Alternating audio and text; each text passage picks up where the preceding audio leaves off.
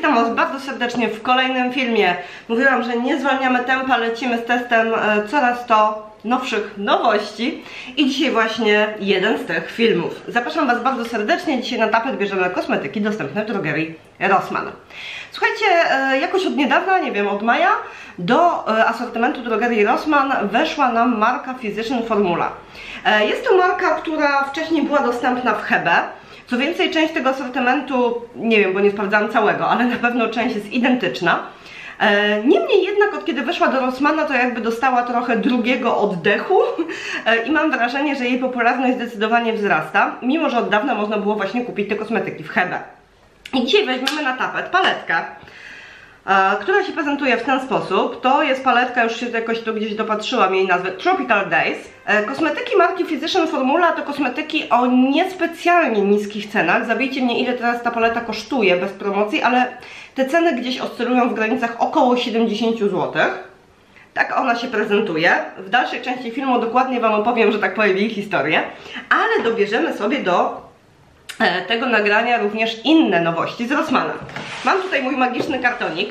Notabene chcę pochwalić, słuchajcie, drogerię Rossmann, bo wiele się zmieniło od czasu, kiedy ostatni raz robiłam tą zakupy online.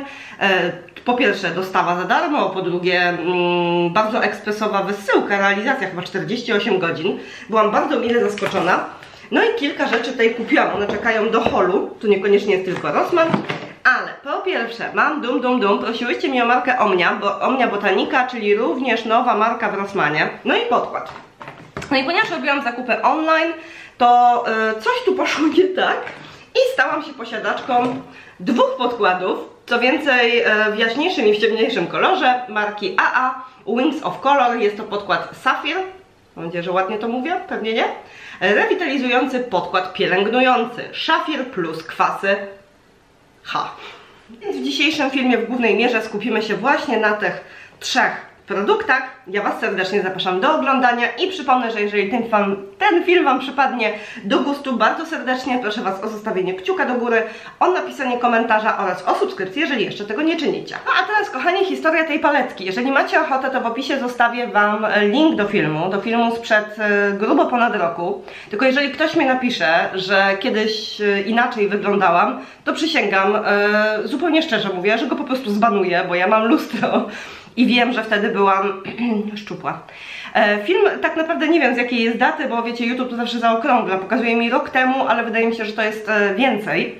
E, I wtedy właśnie kupiłam tą paletę w Hebe. Nagrałam jej test i bardzo mocno ją skrytykowałam. Powiedziałam, że ta paleta w ogóle jest na sprzedaż, ja jej nie chcę i to jest jedno wielkie nieporozumienie, nie moje kolory, nie moje formuły.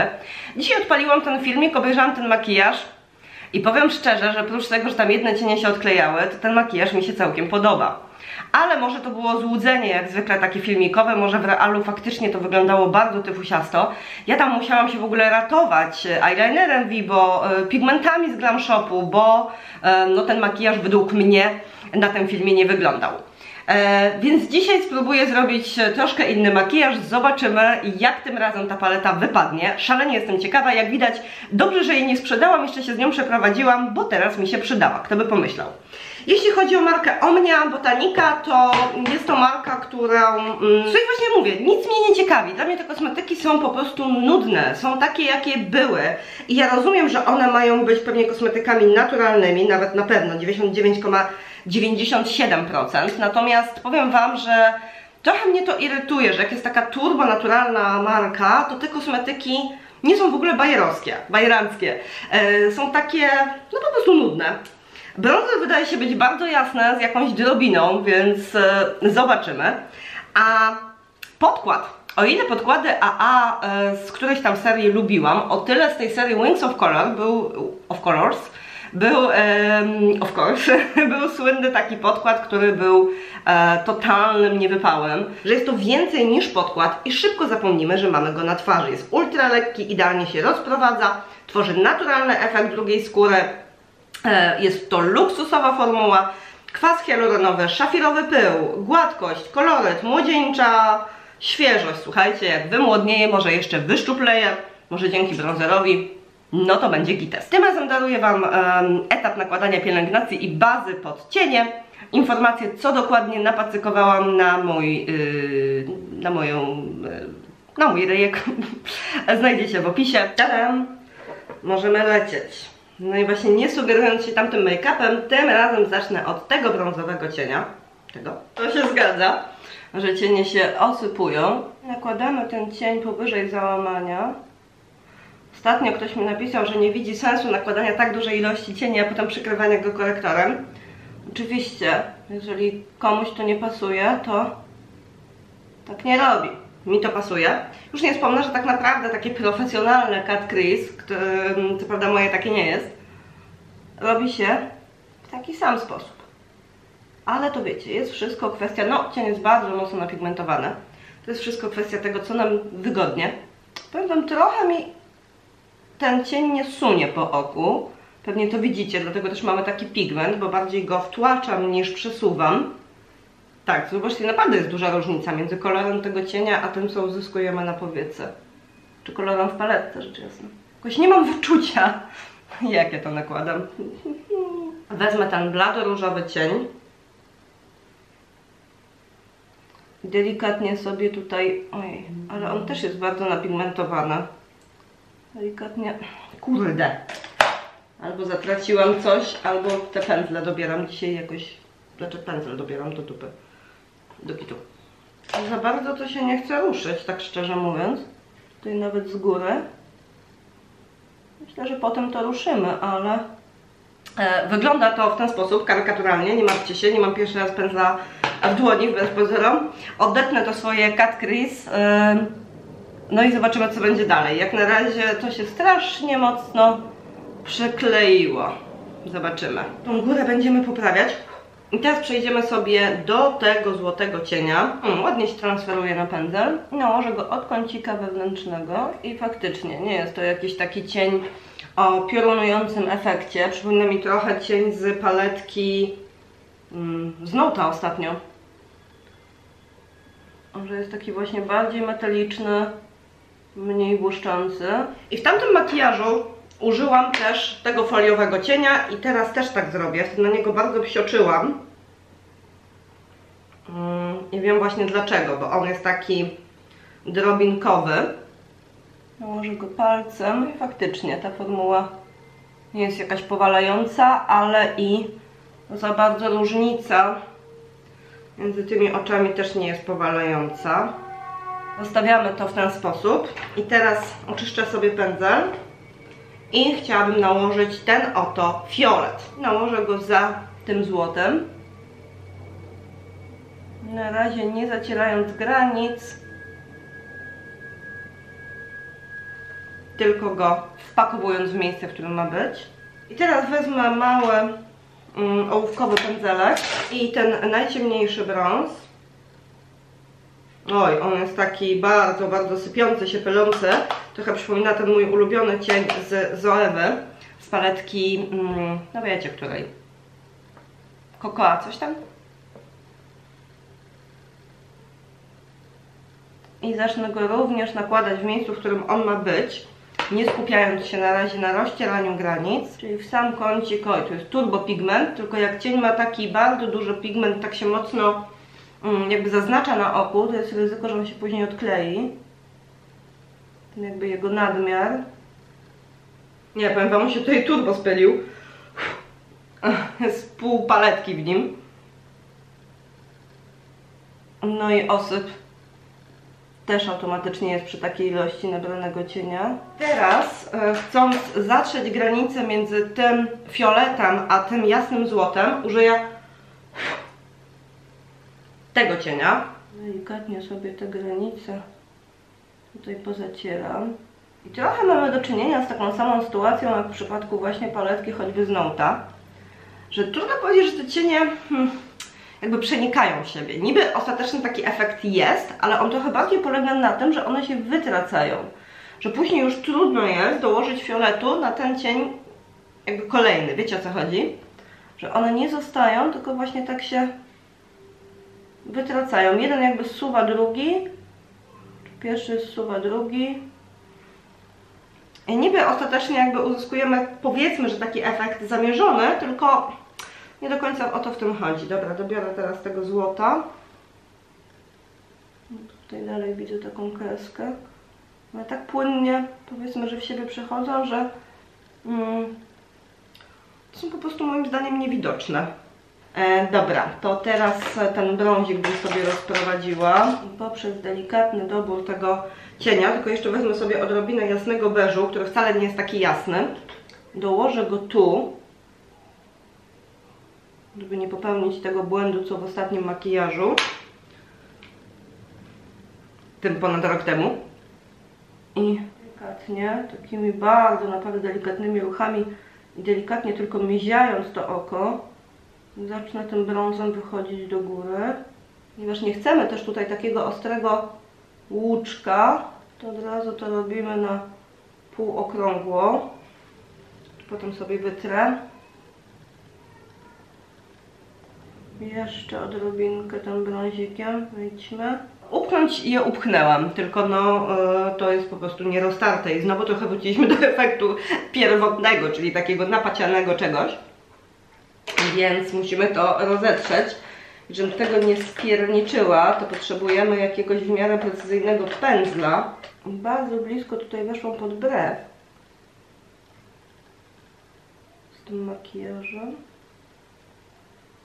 Na pewno mam już tutaj mało miejsca. Może to jest kwestia techniki, pewnie jakby robić to inną techniką albo mieć w ogóle lepszą rękę, to, to też te cienie zachowywałyby się inaczej. Natomiast ja się tutaj uskarżam przy swojej technice na po prostu niemożliwość ich bezproblemowego rozścierania.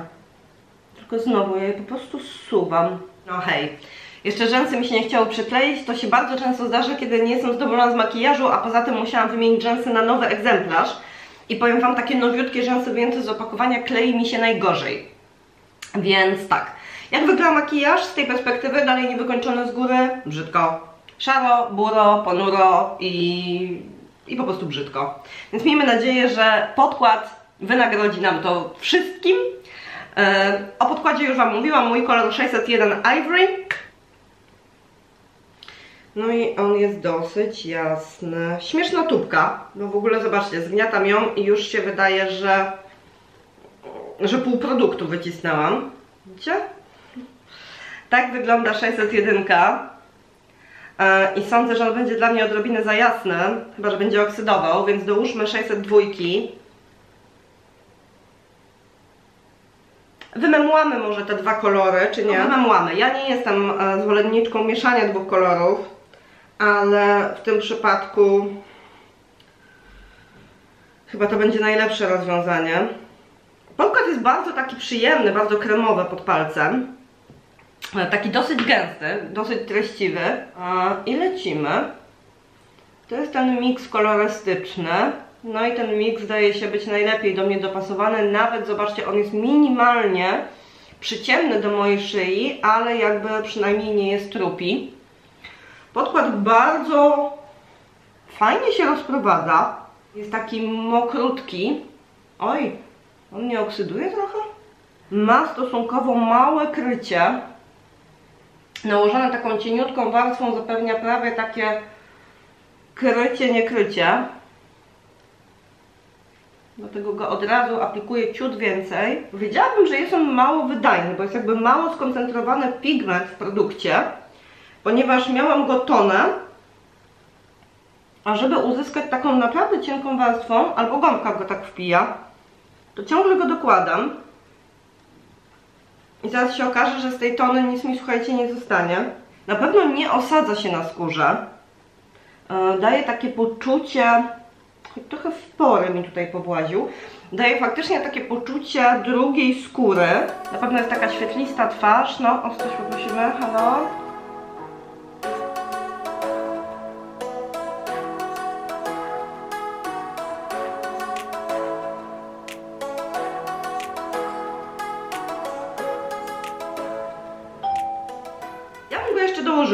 Tą resztkę, która mi tutaj została. Bo taki mam trochę niedosyt. To znaczy z jednej strony jakby to krycie jest spoko, bo jest takie naturalne, a z drugiej strony o, wydaje mi się, że mm, jakby prześwituje jakby za mocno faktura mojej skóry. Się mu przyjrzę tak bardzo, bardzo, bardzo z bliska, to widzę takie zachowanie trochę jak mm, takie jakby minimalne mm, rozwarstwianie się produktu. Dobra, dajmy mu może czas, żeby tam zrobił to, co powinien, czyli niech on sobie osiądzie i tak dalej. Jeszcze może troszeczkę się nim pooklepuje. Założymy sobie korektory. To będzie Liquid Camouflage w kolorze banana. Kurwa mać. No ja naprawdę, słuchajcie, ostatnio mam jakiegoś pecha, no. Wy tego nie widzicie, ale... E, I teraz koniec z ciemnymi cieniami w kolorze 1. Zbliżenie numer 2.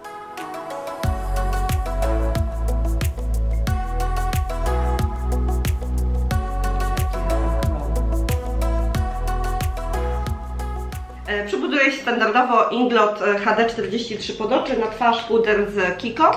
To jest taki, takie miejsce, gdzie był ten podkład, co powiedziałam, że jakby on się ważył i po nałożeniu pudru, jakby rozwarstwiam, po nałożeniu pudru w to miejsce też widzę takie lekkie zważenie, a na pewno nie jest to kwestia korektora i tej pielęgnacji, e, no bo to już mam przećwiczone. Powiem Wam tak, podkład naprawdę wygląda ładnie, powtarzam to po raz 58, ale Tutaj właśnie jakby lekko się ważył, tu jakby lekko osiadał. Nie jest to podkład, który by na mnie zrobił efekt wow, ale patrząc na jego formułę i na pewną znajomość różnych produktów tego rodzaju, zaryzykowałabym stwierdzenie, że on może Wam się naprawdę spodobać. Taka, takie mam mieszane mocno uczucia. Nie mogę, słuchajcie, patrzeć na ten makijaż oka. Dobra, polećmy sobie brązerkiem. Yy, I tutaj z tego co pamiętam nie było żadnych kolorów, nie. I on się wydaje taki, tak jak powiedziałam, bardzo jasny, y, bronzer z Omnia Botanica i na dodatek z taką delikatną drobiną. Nie, wcale nie jest taki bardzo jasny. Się wydaje też chłodny, mam nadzieję tylko, że ja mam oczyszczony pędzel. Zaraz zwątpię, bo na mojej twarzy on wygląda bardzo ciepło. Pędzel jest na pewno czysty. Ok. Mimo, że bronzer wydaje się być bardzo chłodny i bardzo jasny, to na mojej twarzy wypada dosyć ciepło i na pewno nie jasno. Hmm. Ja mogę wrócić do tego pędzla. Ta drobina nam się zatraca, więc nie bardzo wiadomo po co ona jest, bo absolutnie on nie robi jakiegoś takiego satynowego efektu na twarzy. Nie podoba mi się. E, abstrahując od nałożenia, bo nie mam wyczucia tym pędzlem, to no nie podoba mi się. Nie podoba mi się w ogóle jego kolor. Jest dla mnie zdecydowanie za ciepły, no a powiem Wam szczerze, że trudno było jakby obczaić, że on tak będzie wyglądał. Też nie podoba mi się to, że on jest mało mało plastyczny. Tak, to jest na pół twarzy roztarłam nawet nie wygląda tak źle, no tylko ten kolor. Nie wiem, czy on nie byłby lepszy jako taki puder brązujący. Wiecie o co mi chodzi? O dużym pędzlem, żeby się opalić.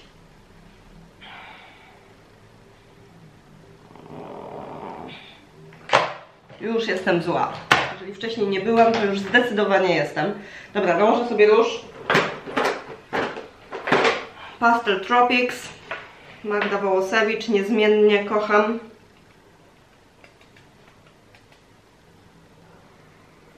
Potem to wszystko sobie przyklepię.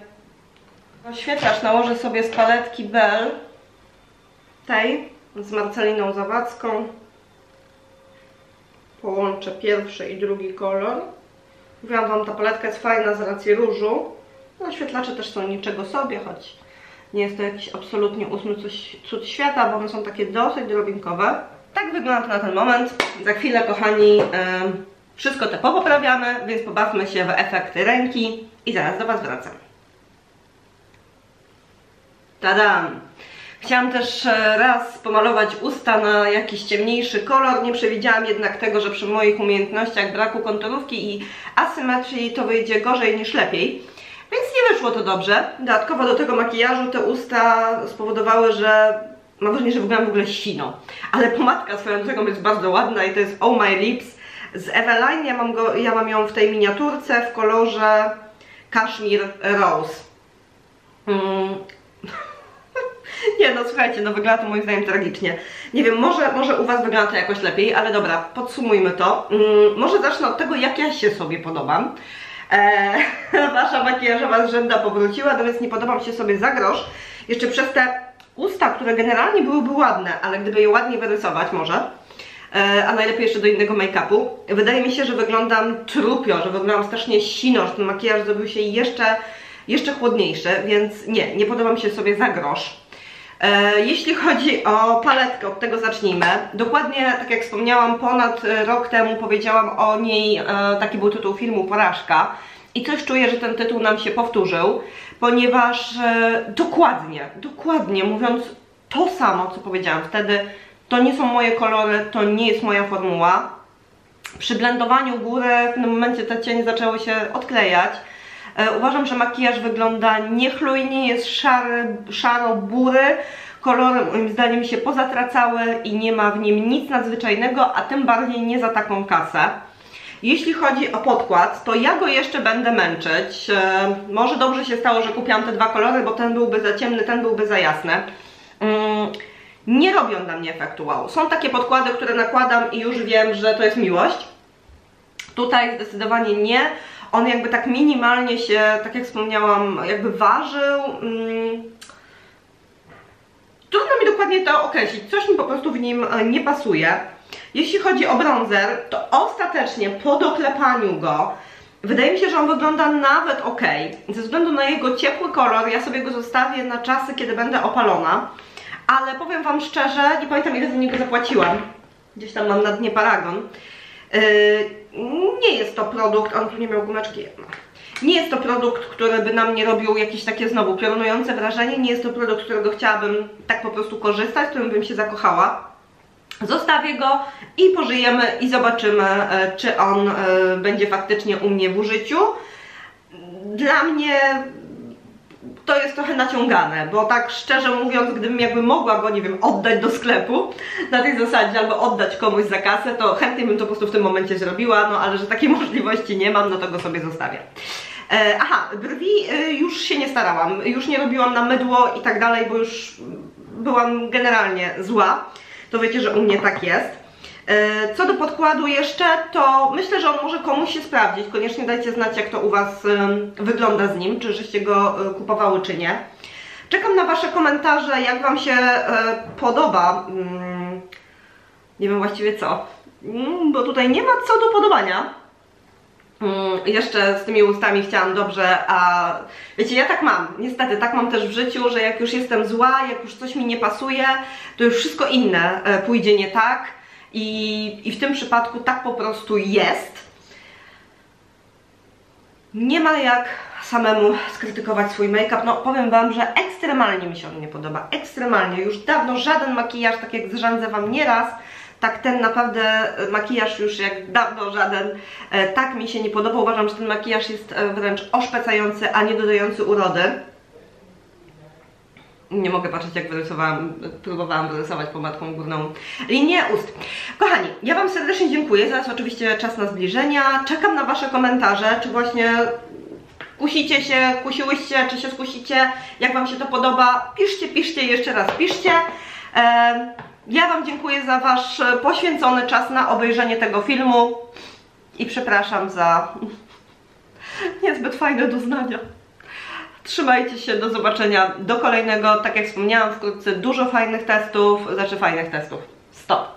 Dużo nowości, a czy będą fajne to się okaże. Kupiłam też kolekcję Marty zmalowanej z Glam Shopu, kupiłam całą kolekcję, więc jak tylko ona do mnie przyjdzie, to postaram się w te pędy nagrać e, test więc również Was gorąco na niego już teraz zapraszam.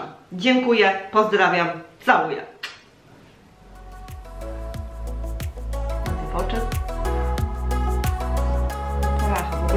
Odkleiło, już się nie chciało, słuchajcie, wykleić.